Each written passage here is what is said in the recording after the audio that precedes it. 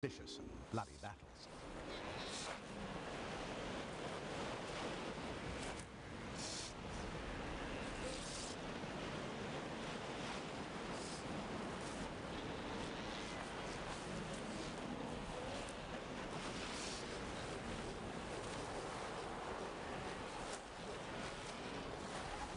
The pups are dependent on their mothers for 6 to 12 months. But then, accompanied by their parents, they begin to make tentative visits into the open sea.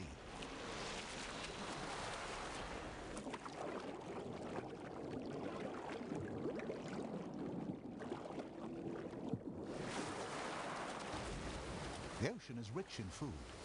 The fur seals, as they're also called, feed on anchovies, squid, crustaceans, occasionally even penguins. It's a seal's paradise, but a paradise that is soon lost.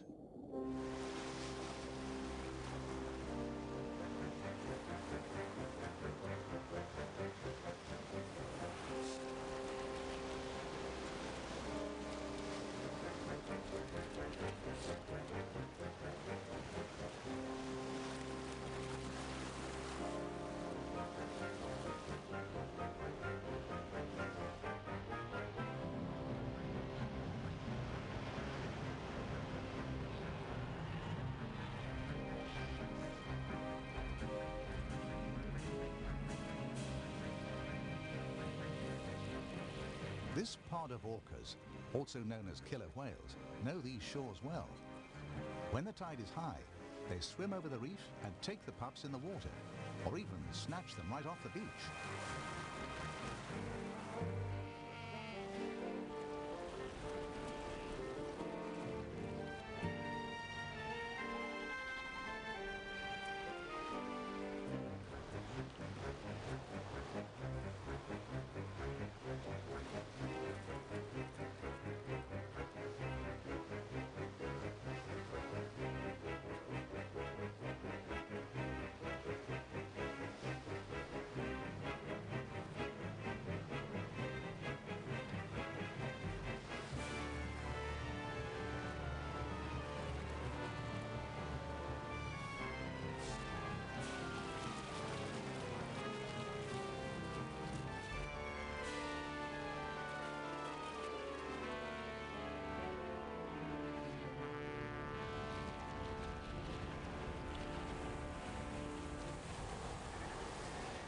It's a real baptism of fire for the youngsters, and even the adults aren't always safe.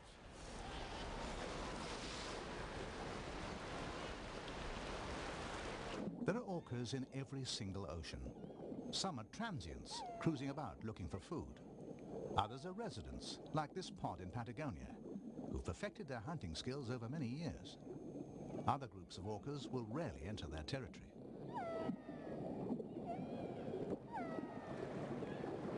Actually, they're not really whales at all, but a species of dolphin. And they're renowned for the way they call to each other, each pod using its own distinct dialect, which is different from any other. The calves are born about every four years, and their mothers teach them how to hunt, including catching fur seals. And so the knowledge passes from one generation to the next.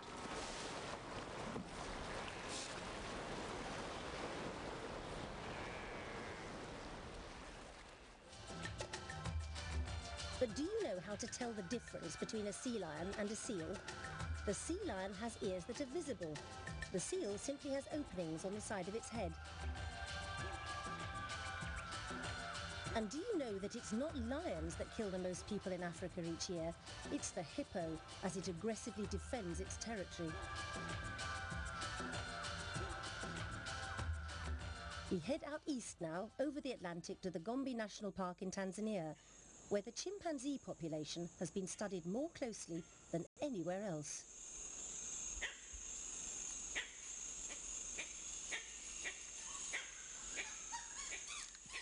Chimpanzees are highly intelligent and highly social animals, sharing over 98% of our human genes.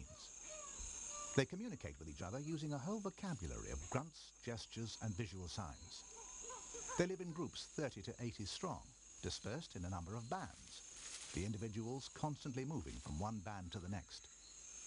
The alpha male leads the group, but it's important to establish the social relationship between the individuals, And one way they do this is by greeting and grooming each other. Close relatives will even throw their arms around each other, kiss and pat each other on the back, just like we do.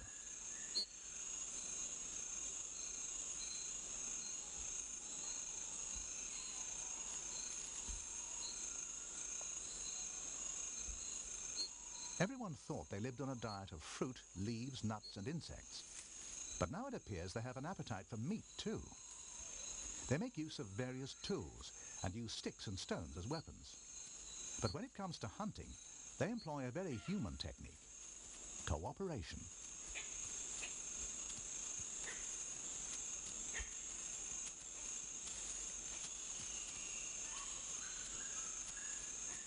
Most of the hunting is carried out by the adult males, with the females and the young joining in, but usually staying on the ground.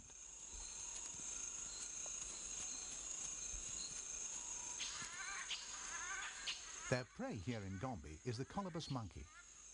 Once sighted, the monkey is tracked down in an almost military maneuver. When on the attack, the chimps move in an organized way, regroup to exchange information, and surround their quarry on all sides.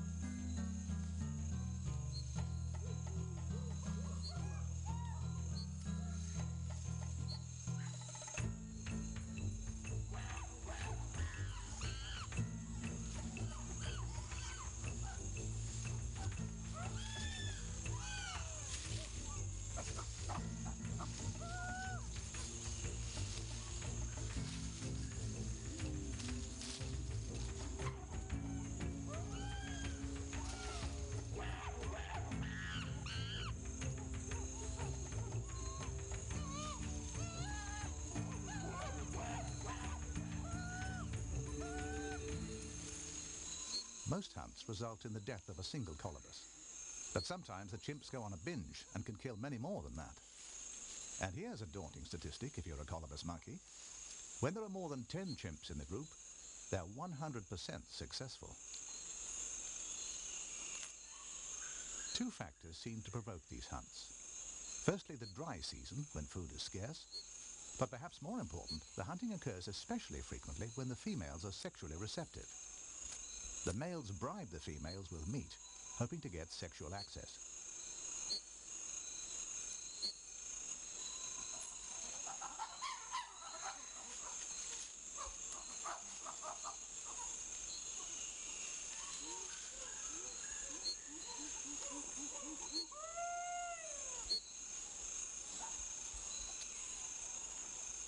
There's also an all-male power game going on. The successful hunters use the meat as a political tool, doling it out to allies, withholding it from rivals. But the chimps, our closest relatives in the animal world, are being squeezed out of their forest homes. Although they're found in many African countries, in only four are there still significant populations.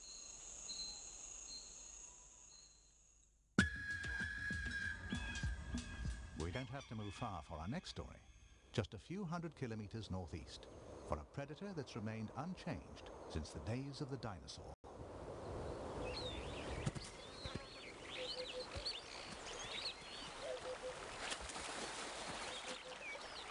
At the end of the rainy season, Nile crocodiles gather in the Grumeti River which flows through Tanzania's Serengeti.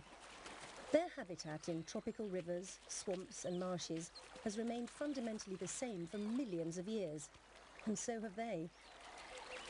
Crocs are solitary creatures, fiercely territorial, and will fight each other during the breeding season. But each year, when the catfish concentrate in the river pools, brotherly love breaks out. Suddenly, up to 70 crocodiles suspend hostilities and work together. In an extraordinary display of cooperation, they form a living dam to trap the catfish in shallow water.